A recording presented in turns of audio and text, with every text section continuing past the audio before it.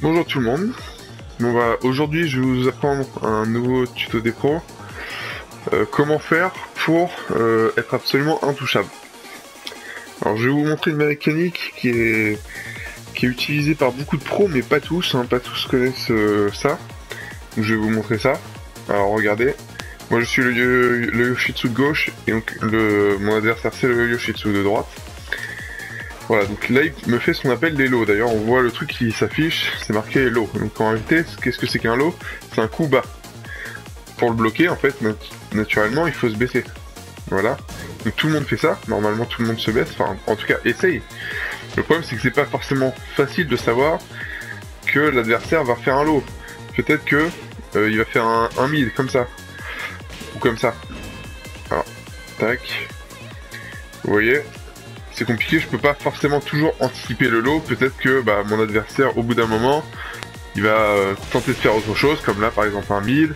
Et peut-être que bah, en essayant de rester en garde debout, il va faire au bout d'un moment un lot. Et du coup, bah, je serais bien embêté quoi.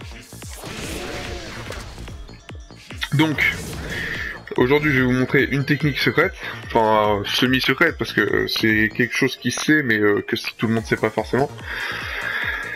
Ah ouais, donc si vous le savez, tant mieux pour vous. Si vous savez pas, bah, vous allez le savoir de toute façon. Donc c'est euh, euh, quand vous pensez que votre adversaire va faire un lot, vous pouvez soit bloquer donc en faisant euh, donc bas derrière. D'ailleurs, je, je, vais vous expliquer vite fait. je vais vous expliquer à quoi ça correspond. En fait, il y a U pour haut, ça correspond à haut. Il y a F pour front, ça correspond au front, donc ça veut dire c'est le devant de la tête, donc c'est vers l'avant. Après, bon bah il y a, y B pour bas et D pour derrière, voilà. Donc on peut bloquer un lot en faisant euh, BD, c'est-à-dire en se baissant comme ça. Et on peut aussi le, bloquer en fait d'une autre manière, donc que je vais vous montrer ça. Voilà. Et donc pour ça en fait il suffit de se baisser vers l'avant, tout simplement. Alors ça marche pas si vous vous êtes baissé vers l'avant trop longtemps en fait. Mais du coup, si vous êtes baissé vers l'avant trop longtemps, vous pouvez repartir après vers arrière, comme ça vous bloquez quand même le coup, voilà. Ensuite, après ça, évidemment, vous pouvez faire des combos, euh, etc.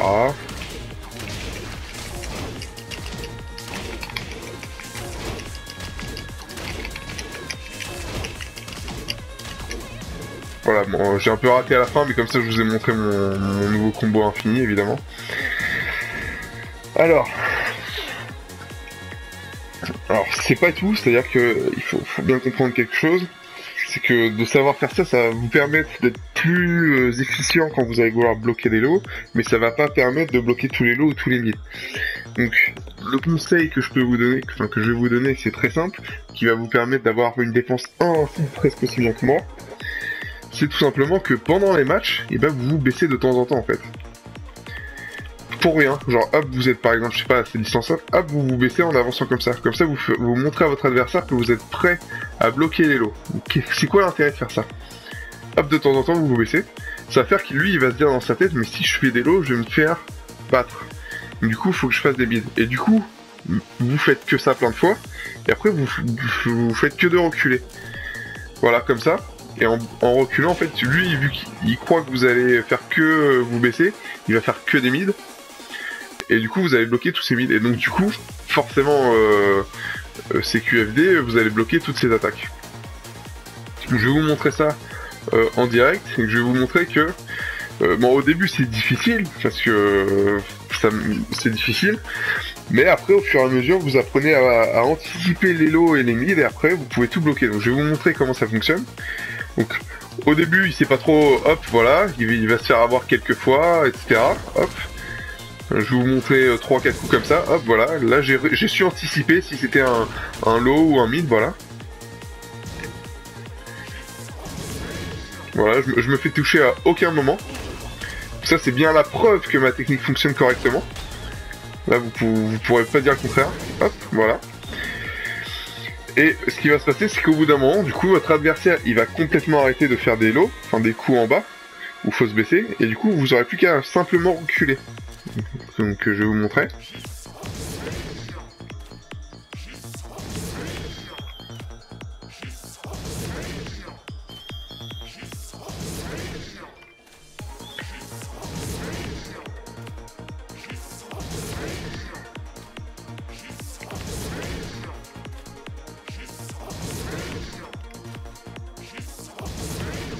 Voilà donc euh, voilà, donc euh, comme vous avez pu le voir, j'ai pas, je me suis pas fait toucher euh, du tout, donc c'est bien la preuve que la technique fonctionne.